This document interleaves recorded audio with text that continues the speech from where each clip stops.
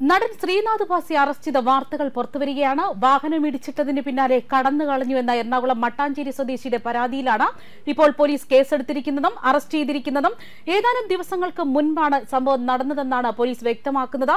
വാഹനം ഇടിച്ചിട്ടതിന് പിന്നാലെ നിർത്താതെ പോയി എന്ന മട്ടാഞ്ചേരി പോലീസിൽ നൽകിയ പരാതിയിൽ ശ്രീനാഥ് ഭാസി അറസ്റ്റ് ചെയ്ത് പോലീസ് ജാമ്യത്തിൽ വിടുകയായിരുന്നു എന്ന വിവരങ്ങൾ പുറത്തുവരുന്നു. അതേസമയം സംഭവത്തിൽ നടനെതിരെ ഗുരുതരമായ വകുപ്പുകളൊന്നും ചുമത്തിയിട്ടില്ലെന്നും നടപടിക്രമങ്ങളുടെ ഭാഗമായി മാത്രം വിളിച്ചു വരുത്തി അറസ്റ്റ് രേഖപ്പെടുത്തിയെന്നുമാണ് പോലീസ് വ്യക്തമാക്കുന്നത്.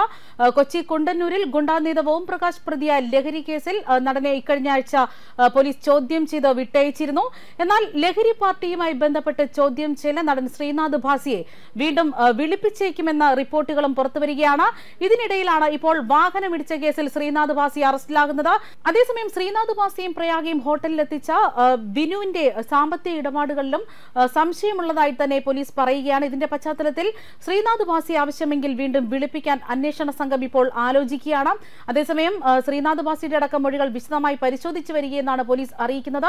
നടി പ്രയാഗയുടെ മൊഴി തൃപ്തികരമെന്ന നിലപാടിലാണ് പോലീസ് എത്തിച്ചേർന്നിരിക്കുന്നത്. നക്ഷത്ര ഹോട്ടൽ പോയത് സുഹൃത്തുക്കളുടെ നിർബന്ധപ്രകാരമാണെന്നും അവിടെ ലഹരി പാർട്ടി നടന്നത് അറിഞ്ഞില്ല എന്നുമായിരുന്നു പ്രയാഗ പോലീസിൽ മൊഴി നൽകിയത്. എന്നാൽ വ്യാഴാഴ്ച ഹാജരാകണമെന്ന പോലീസ് നിർദ്ദേശമനുസരിച്ച് സൗത്ത് പോലീസ് സ്റ്റേഷനിൽ ചോദ്യം ചെയ്യലിന് പ്രയാഗ എത്തിയിരുന്നു.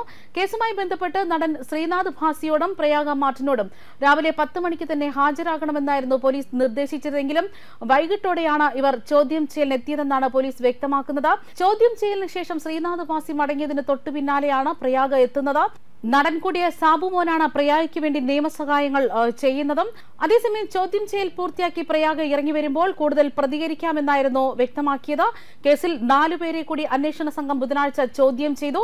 ഓം പ്രകാശിനെ ഫോണിൽ ബന്ധപ്പെട്ട തമ്മനം ഫൈസൽ ലഹരി പാർട്ടി നടത്തിയ ഹോട്ടലിലെത്തിയ ബ്രഹ്മപുരം സ്വദേശി അലോഷി പീറ്റർ ഭാര്യ സ്നേഹ അങ്കമാലി സ്വദേശി പോൾ ജോസ് എന്നിവരെയാണ് ചോദ്യം ചെയ്തത്. അതേസമയം ഹോട്ടലിൽ സന്ദർശകരെ എത്തിച്ച എളമക്കര സ്വദേശി ബിനു ജോസഫുമായി ബന്ധമുള്ളവരാണ് ഇവരെന്നും സൂചനയുണ്ട്. ലഹരി പാർട്ടിയിൽ പങ്കെടുത്ത മറ്റ് പതിനാലോളം പേരുടെ വിവരങ്ങളും ലഭിച്ചിരിക്കുകയാണ്. ഇവർക്ക് വരും ദിവസങ്ങളിൽ നോട്ടീസ് നൽകുമെന്നാണ് പോലീസ് വ്യക്തമാക്കിയതും. അതേസമയം ഇതുവരെ മൂന്ന് പേരുടെ അറസ്റ്റ് രേഖപ്പെടുത്തിയെന്ന വിവരങ്ങളാണ് പോലീസ് നൽകുന്നത്. News desk Karma news.